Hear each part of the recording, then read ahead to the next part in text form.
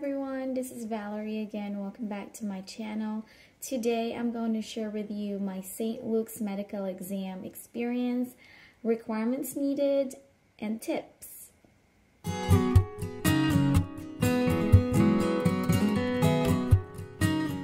Alright, so today's video is going to be short. I just wanted to share with you my medical exam experience. So my medical appointment uh, was August 27th of 2020. We stayed at Manila Lotus Hotel and it's only three minutes walk to St. Luke's Extension Clinic. So I would advise or suggest if you are doing the medical exam to stay at a hotel that's close so so you could just walk and you don't have to commute.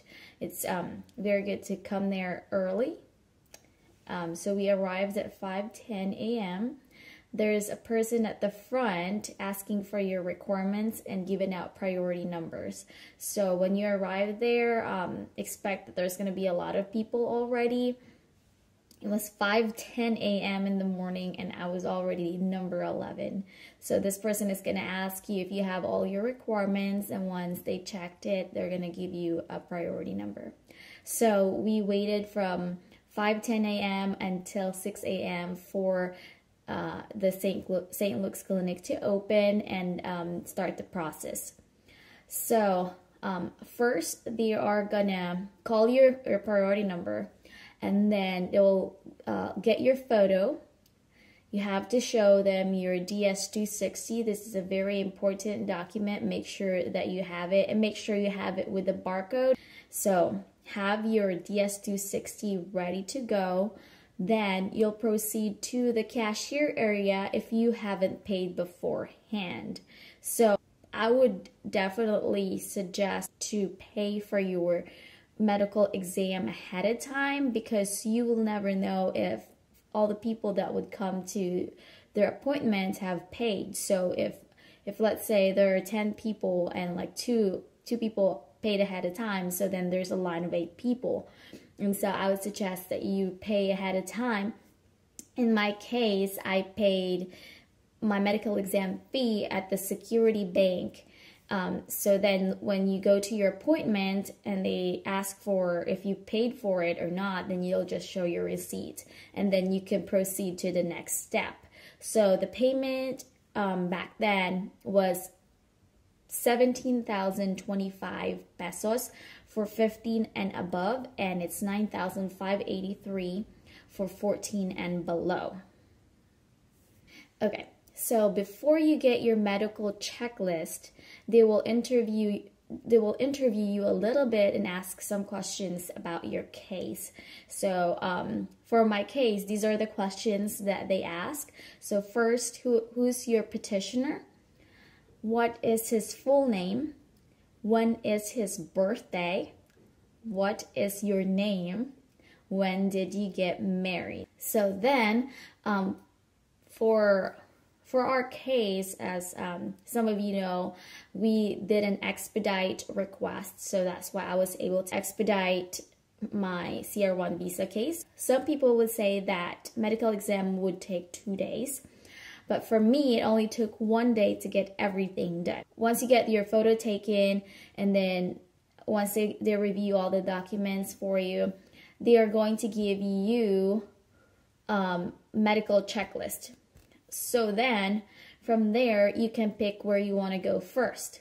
So don't be afraid to ask, let's say if you're not ready for one one of the tests, say, can I come back? Can I do this first? I'm ready for this one. So don't be afraid of asking or, or letting them know. So then um, for my case, I went to the x-ray section first um, because that's, you know, that's pretty easy. The next thing I did um, was to get my blood drawn. And then so I went to my physical test. So there, um, there was a long line because everybody wants to do that first because that's the easiest part. And so I did, um, they checked my height, weight, blood pressure, and then from there, I went in the room and the doctor will do the physical exam. And then after that, if you have, I'm not sure, but for my case, um, they sent me somewhere else. It, they sent me to the cardiac exam doctor. I was so scared. I was so nervous. I'm like, is there something wrong with me that I didn't know? But uh, they sent me to that doctor. He just asked me a few questions um, and then she let me go.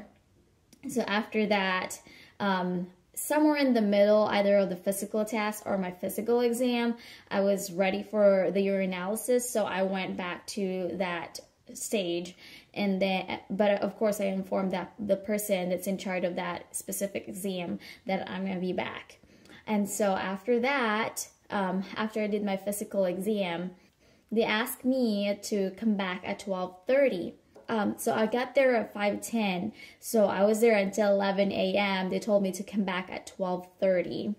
When I came back from lunch, they told me to go to the vaccination area. So I got my vaccines and then the person there said, okay, you're ready to go. You go downstairs and get your results. I went downstairs, I got my results and I was expecting to get a yellow packet altogether because you're supposed to bring that packet to your interview, but the person just handed me the documents for my vaccinations, and so I asked I asked the person, um, "Do I need something else?" and and she said.